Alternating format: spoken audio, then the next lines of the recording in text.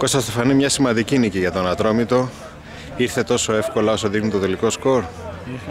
Θέλαμε αυτό το παιχνίδι όπως και οδήποτε. Ε, όλη την εβδομάδα ήμασταν αποφασισμένοι για αυτό το παιχνίδι.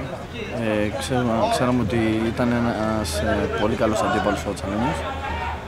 Ε, από εκεί πέρα με τη σημερινή νίκη είμαστε με το ένα πόδι στην παραμονή πιστεύω και τώρα κοιτάμε κάθε παιχνίδι ξεχωριστά και, το, και είναι ο τελικός μου.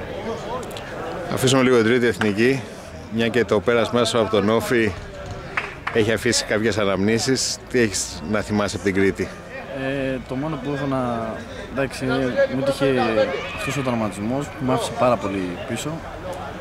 Αυτό που θέλω να κάνω να ξαναεπιστρέψω σε μεγάλες κατηγορίες γιατί είναι θέμα το πιστεύω και δεν είμαι και μεγάλος ηλικία. Σίγουρα και οι εμφανίσεις σου δείχνουν πραγματικά ότι είσαι σε καλό δρόμο. Μα αν είναι θέλημα Θεό να ξαναγυρίσω και γιατί όχι σε μια ομάδα από τις κρατικές.